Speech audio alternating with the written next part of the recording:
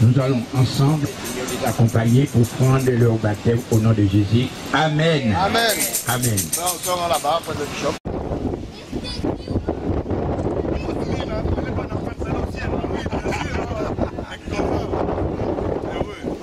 Amen.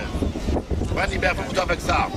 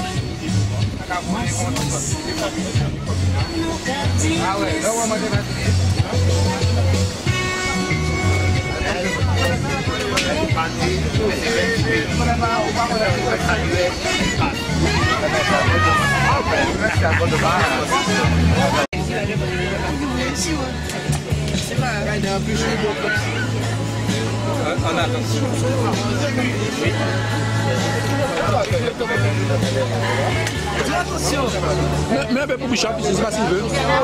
Mets un peu pour Yana, j'ai besoin de toi, s'il te plaît. Récupérer la porte pour que je puisse servir. Non, là, c'est ça. Le frère m'a donné une aussi. Prends un petit peu pour Bishop, récupère un Ah ben, On va y Ah, il n'est pas changé moi. Un peu de temps, le bio. Un Bishop qui dit, ah, il n'est pas changé. Ah ouais,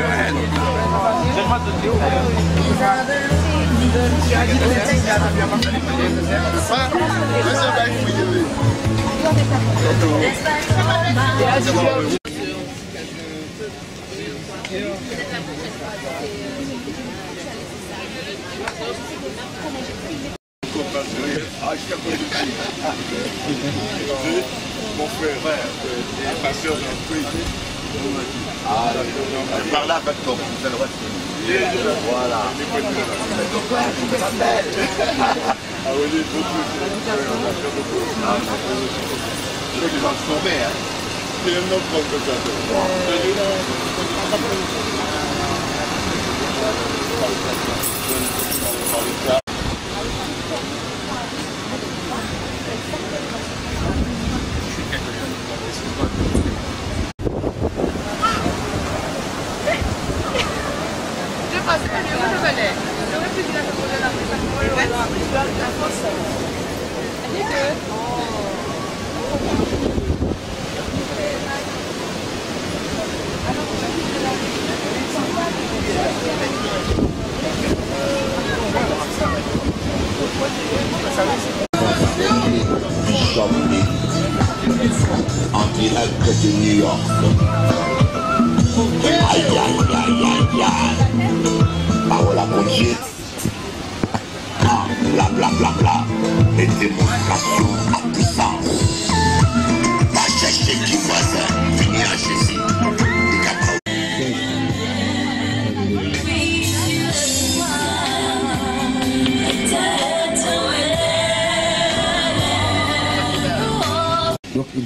des fruits. Même si tu connais toute la Bible, si tu ne portes pas le fruit, si tu n'as pas l'amour de Dieu en toi, cela ne sert à rien. Donc c'est quelque chose de très important que vous allez faire devant les hommes, devant Dieu, mais le diable il est là aussi. Alléluia. Et c'est lui-même qui va venir pour vous entraîner dans les péchés, pour essayer de vous tenter. Quand Jésus a été du Jourdain, l'Esprit de Dieu l'a amené au désert. Donc c'est pas parce que tu prends le baptême qu'il n'y aura pas d'épreuve. Il y aura des épreuves. L'ennemi va venir pour essayer de te tenter, mais tu dois résister de tout ton cœur.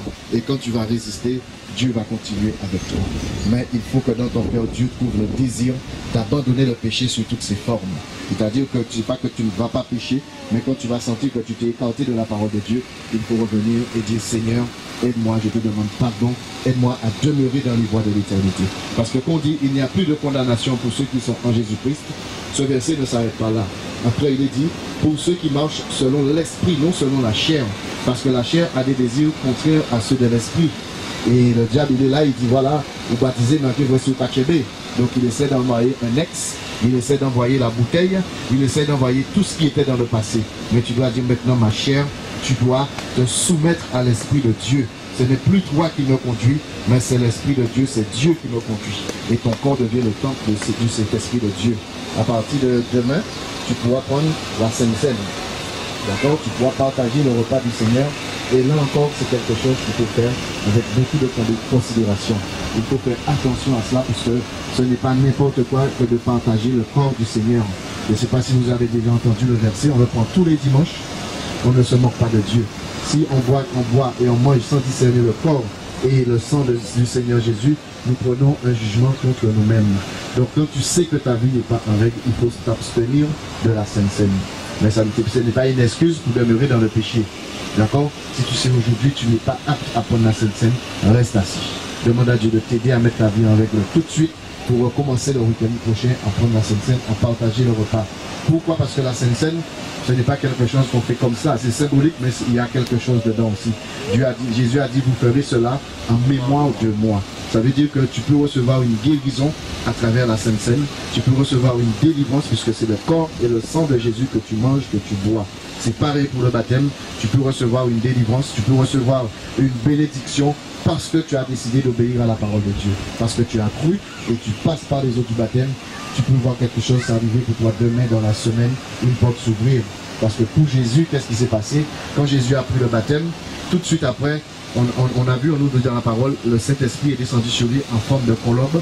Et Dieu a dit, celui-ci est mon fils bien-aimé en qui j'ai mis toute ma confiance. Donc Dieu a mis sa confiance en toi. Il attendait que tu fasses ce geste. C'est comme si tu dis à quelqu'un, je t'aime, je t'aime, et tu ne l'épouses jamais. Moi aimé, moi aimé, moi aimé, mais tu l'épouses jamais, c'est pareil. Jésus, je t'aime, je t'aime, mais il te dit, celui qui croira et qui sera baptisé sera sauvé. Mais jusqu'à aujourd'hui, tu ne l'avais pas fait. Maintenant, tu lui dis, je t'aime et je m'engage avec toi. Donc tu vas recevoir une alliance, une alliance spirituelle. Tu vas recevoir un nouveau nom en Jésus-Christ de Nazareth. Tu seras fils et fille du Très-Haut. Amen. Donc je crois que vous avez un petit peu tout compris, mais il faut demander à Dieu chaque jour. Et surtout n'oubliez pas, vous qui venez de, connaître Christ et qui, allez vous engager aujourd'hui, faites attention à qui vous entoure. Demandez à Dieu de mettre autour, autour de vous des personnes qui le craignent. Parce que Dieu, il a ses serviteurs, mais le diable aussi, il a ses agents. Donc faites attention pour qu'on ne vous rattrape pas, pour que l'ennemi n'essaye pas de vous rattraper avec ceux qui ne craignent pas Dieu. Donc quand vous, vous, avez besoin de parler, rapprochez-vous des pasteurs, rapprochez-vous des anciens, n'allez pas vers n'importe qui. Ce n'est pas écrit là sur mon front pasteur, d'accord? Donc sur le front de ceux qui travaillent pour le diable, c'est pas écrit non plus. Même quand il y a un beau sourire, même quand il y a, c'est pas comme j'ai vu sur internet une fois, c'est pas tous les vipères qui ont une queue. Il y a des vipères qui ont deux pattes aussi, deux pieds. Donc faites attention, priez Dieu, demandez-lui à vous de vous connecter avec ceux qui le craignent. Amen. Donc nous allons prier pour que vraiment Dieu vous aide et que tout se passe bien. Amen. Je remets, Seigneur mon Dieu, mon frère, ma soeur, ce matin entre tes mains. Ils ont pris la bonne décision, Seigneur, Dieu.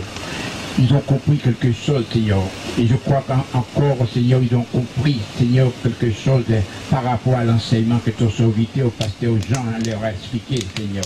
Alors Dieu, permet qu'après leur baptême, Seigneur Dieu, qu'ils puissent continuer, Seigneur mon Dieu, à marcher d'une manière digne de toi. Ne permets pas, Seigneur mon Dieu, qu'ils puissent encore tomber, mais permets qu'ils puissent avancer avec toi, afin que le diable puisse faire marche arrière, Seigneur mon Dieu, et qu'ils puissent recevoir toujours encore plus. Permets que chaque jour, Dieu, qu'ils puissent faire un pas en plus vers toi, vers ton trône des grâces, Seigneur mon Dieu, afin qu'ils soient plus proches de toi. Tendre Père, je le laisse entre tes mains, et maintenant, Seigneur mon Dieu,